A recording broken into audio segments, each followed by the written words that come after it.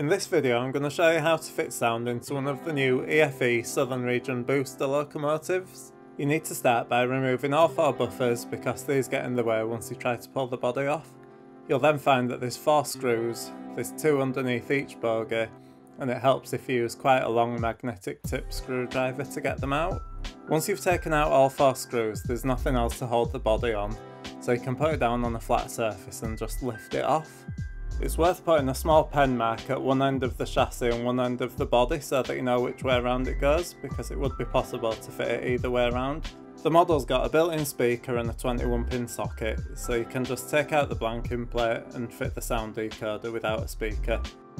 A lot of people will be happy to use the model just like that, but I found it a little bit quiet, so I thought I'd upgrade the speaker. The first speaker that I tried were one of the tablet speakers which I've recently added to the range, but it didn't improve it by as much as I was hoping, so I kept looking for other ideas.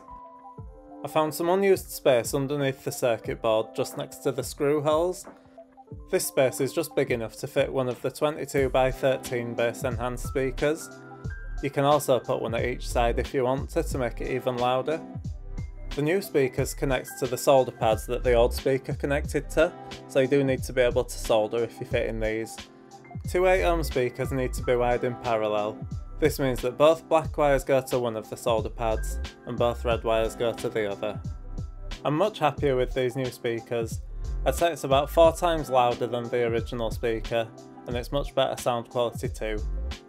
If you buy the decoder from us, you can either buy it without a speaker so that you can use the standard built-in speaker, or you can buy it with one or two of these new speakers as well if you want to upgrade it.